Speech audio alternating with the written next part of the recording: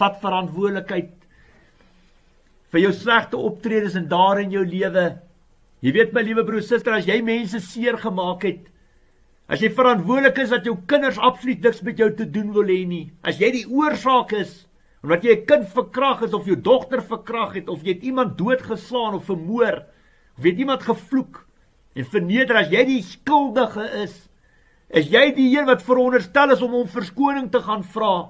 Dit is soos 'n vrou wat verkrag is. Jy weet baie mense verwag Jy moet die onmenslike ding gaan doen. Jy moet nou vir hom gaan vir hom verskoning vra vir alles wat hy aan jou gedoen het of wat hy of wat sy aan jou gedoen het.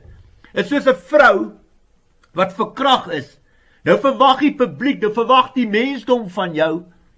Sy moet nou na haar verkragter toe gaan en hom om verskoning vra omdat hy haar verkrag het. En hopelik sal hy haar vergewe. Weet jy wat daai persoon se absoluut dink sy van haar sinne beroof, sy's van haar kop af en hy sal haar sommer jou moontlik weer eens verkrag omdat hy sien sy geniet dit. En, en, en, en sy kom vra om verskoning daaroor. Verstaan jy ons ons mense redeneer partytjies soos 'n klomp dwaase. En dit wat ek wil vandag vir jou sê of jy 'n man of 'n vrou is of jy 'n seun of 'n dogter is, jy moet na jou lewe kyk. Jy moet na jou lewe kyk en jy moet selfondersoek doen, tekenbord toe vir jouself vra. Hoe staan jou sake met die Here Jesus Christus? En as jy mense besteel het, as jy die rede is hoekom sy besigheid tot 'n val gekom het, as jy jou vernoot ingedoen het, as jy op ander mense getrap het om bo uit te kom, as jy iemand as jy 'n vrou of 'n jong meisiekind of 'n klein dogtertjie verkrag het, as jy iemand vermoor het, al is dit onder wit brein en swart wat jy mense gaan doodskiet het, As jy abortus gedoen het, as jy besig geraak het met afgoddienste en vrymessery en broederbonders en wat round tables en satanisme en die oproep van voorvader rituele, moet jy verantwoordelikheid kan vat. As jy betrokke geraak het by ander gelowe, moet jy verantwoordelikheid kan vat. En jy moet hom verskoning gaan vra. As jy egbreek gepleeg het, as jy rondgehoer het, is dit jou plig om hom verskoning te gaan vra. En die Bybel is ons riglyn en kompas. Hoeveel keer moet ons mekaar kan vergewe? Selfs 70 maal 7 moet ons mekaar kan vergewe. En die woord sê as jy probleme het met jou broer, met jou suster, met jou medemens, jou naaste, is Matteus 18 vers 15 en 17 jou rigtingwyser. Gaan na hom toe, praat met hom as hy nie wil hoor nie. Vat twee of drie getuies saam. As hy nog steeds nie wil hoor nie, vat hom na die gemeente toe. As hy nog steeds nie wil hoor nie, behandel hom as 'n heiden, as 'n tollenaar, want dan wil hy nie luister nie. Die riglyn in die woord is daar. Maar jy kan nie verwag, jy wat 'n vrou verkrag het, dat sy jou moet kom verskoning vra omdat jy haar verkrag het nie. Dis absoluut belaglik. Dis absoluut belaglik om so te dink. En dis hoekom ons moet na onsself kyk. Baie van julle wat vandag aan my luister, het mense gaan doodskiet in die grensoorlog. Wie het vir julle gesê om dit te gaan doen? definitief nie God nie, definitief nie Jesus Christus nie. Ons fantastiese leiers het dit vir ons gesê. Hoekom? Die hulle is die kommuniste. Ons is wit, hulle is swart. Ons is goed, hulle is sleg. Ons is vir die hemel, hulle is vir die duiwel of vir die hel. Jy weet nie waarvan jy praat nie. Ek sê vir jou reg, jy's met 'n halwe waarheid in jou lewe bedien. Want as jy jou Bybel reg verstaan, gaan lees, sit hierdie voice out af en gaan lees Efesiërs 6:12. Daar sê die woord hart en duidelik vir jou dat jou dat jou vyand is nie teen vlees en bloed nie, wat teen elke bose mag in die lig. Die probleem is nie die skepingswerk van God nie, maar die boosheid wat van binne af uit hom uit manifesteer. Dis hoekom jy 'n siel, gees en 'n vlees het. Ek 'n siel, gees en 'n vlees het. En dis hoekom swart, wit, bruin, pink, pers ook 'n siel, gees en 'n vlees het. 'n Boom word aan sy vrugte geken. En so weet jy met wie jy werk. Werk jy met Jesus of werk jy met Satan of werk jy met al twee? Kyk wat wat binne hom aangaan, met binne haar aangaan.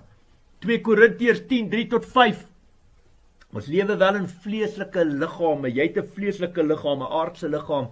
Ek het ook 'n vleeslike liggaam. Maar die woord sê ons beklei nie met aardse wapens nie. Ons wapens is die wapens van lig wat vestings kan aftrek en vernietig. So jou wapen vir aanval en verdediging is nie bomme en messe en gewere en kanonne en veiligheidshekke en en en en en die wering en en en en elektriese drade en bomme en dis nie jou oorlog, dis nie jou wapens nie. Jou wapens is in gees, nie in vlees nie. Wapens van lig. En dis hoekom julle, weet jy wat party huise lyk so stronk omdat julle julle God so klein maak. Vir julle is Jesus Christus dit. Dis hoe dis hoe hy lyk. Dis hoe Jesus Christus, hy's so piep klein. Julle dien nie God volgens woord nie, miskien met die hart nie, maar met die mond sê julle julle dien nie God wat in 6 dae hierdie hele wêreld gemaak het, die see en alles daar aan die land en alles op die hemel, alles daarbo. Hy het alles geskape in 6 dae. Die sewende dag het hy gerus. Maar weet jy wat? Jou huis lyk soos 'n tronk omdat jy van van van Jesus Christus so piep klein maak. Weet jy hoe massief? Weet jy hoe massief groot is ons God? Jy verstaan dit nie. En weet jy wat ons luister ons ore, ons het mense gaan doodskiet in die grensoorlog, baie baie van ons voorgeslagte het mense gaan doodskiet in die Anglo-Boereoorlog. En weet jy wat? Waar God nie is, is Satan baas. Die Here het nie daai opdragte gegee nie en dis hoekom ons in die gemors sit wat ons sit. Baie van ons het van diamante, goud en silwer en geld en al ons huise en ons besittings afgode gemaak. Dis hoekom ons sit waar ons sit. En dis hoekom dit jou plig is wat vandag na my luister of jy 'n man, vrou is of jy 'n kind is. Dis jou plig om jou lewe te ondersoek, tekenbord toe gaan en terug te draai na die Here toe en sonde belydenis gaan doen en bevryding ontvang sodat jy siel en gees en vlees gereinig en gesuiwer kan word deur die krag van die Heilige Gees, deur die bloed van die lam en deur die geloof in Jesus Christus. Jy weet my liewe broer en suster, jy moet geestelik en vleeslik na 'n mens kan kyk Tren dit op as die Heilige Gees vir jou opdrag gee.